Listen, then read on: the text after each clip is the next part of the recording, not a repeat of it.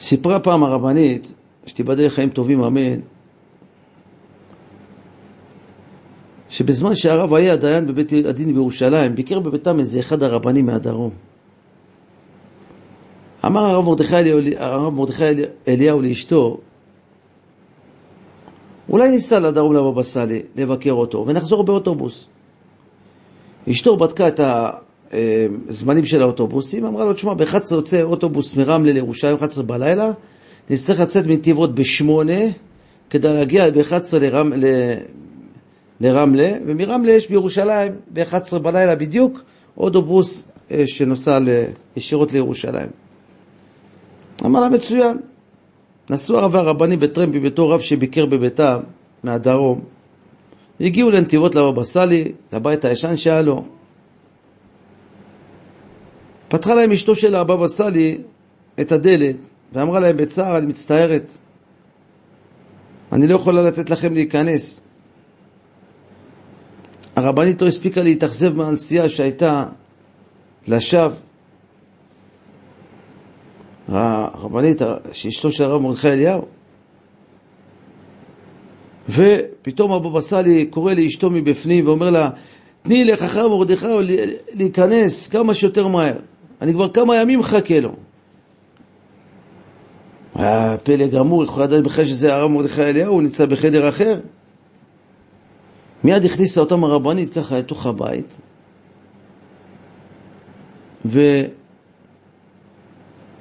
מרדכי אליהו נכנס לחדרו של הבבא סאלי. בינתיים ישבה הרבנית עם אשתו של הרב, עם אשתו של הרב אה, הבבא סאלי הקדוש, ואשתו של הבבא סאלי התחילה לבכות, כבר שבוע הוא לא אוכל, במוצאי שבת הוא אמר לי, כשיש גזירה חמורה לעם ישראל ולכן הוא צם כדי לבטל אותה. תגידי לבעלך, תעשי טובה שהוא יצא, שישכנע אותו לבוא לאכול משהו. חמישה ימים הוא כבר לא אוכל, ממוצאי שבת. תראו מה זה צדיקים על עם ישראל, כמה צומות הם עושים. ככה בכתה הרבנית, אשתו של הרב בסלי, לאשתו של הרב, של הרב מרדכי אליהו.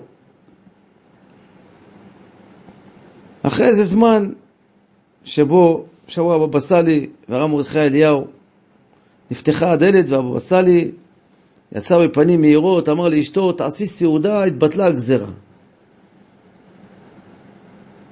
אנחנו עכשיו נאכל ביחד עם האורחים, ברוך השם.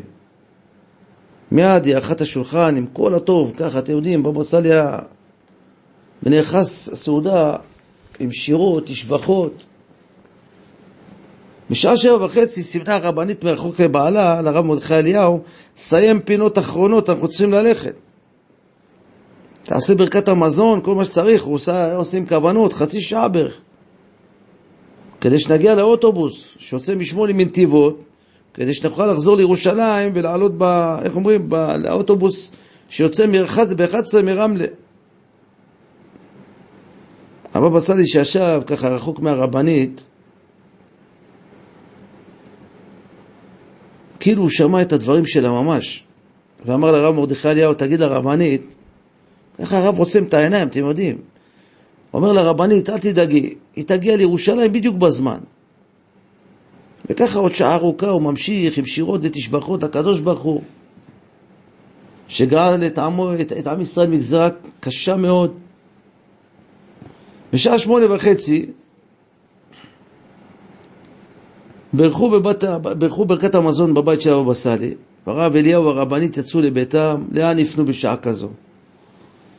אמר הרב אליהו לרבנית, בואו ניסע לרמלה באוטובוס, שאוטובוס מאוחר, מה נעשה? שם נראה מה נעשה. אמרה לו הרבנית, האוטובוס שיוצא עכשיו מגיע רק ב-11 וחצי לרמלה, חצי שעה אחרי שהאוטובוס האחרון יוצא מרמלה לירושלים. אין דבר, בואו ניסע, נתקדם לירושלים. הרב והרבנית הגיעו לרמלה ב-11 וחצי, והרב אומר לרבנית, בואו נראה כמה, מה עם האוטובוס ירושלים, שהיה צריך לנסוע ב-11. אמרה לו, אין טעם, כבר נסע. אמר לה, בואו ננסה. הלכו לרציף של האוטובוס ירושלים, והוא רואה את האוטובוס עומד וממתין עם כל הנוסעים, כולם יושבים באוטובוס ולא אמר לרב מרדכי אליהו לנהג, אפשר לעלות? אמר לו, למה תעלה? מה אתה, מה אתה, למה תעלה? האוטובוס הזה תקוע. ומה עושים פה כל הנוסעים? הם כבר שילמו. מחכים שיבוא אוטובוס אחר, נראה מה נעשה. אמר, אנחנו כמו כולם.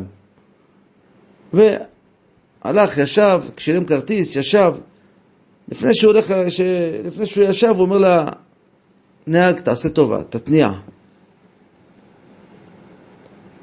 הנהג מנסה שוב מתניעה, ווואלה, האוטובוס מונע. אמר לו, הנהג, תגיד לי, אתה אליהו הנביא? אמר לו, לא, אני, קוראים לי אותי הרב מרדכי אליהו. נו, לא אליהו הנביא, אבל הרב מרדכי אליהו. תראו מה זה צדיקים.